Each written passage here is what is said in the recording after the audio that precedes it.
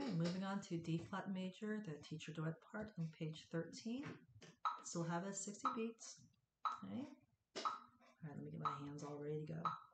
One, two, three, four.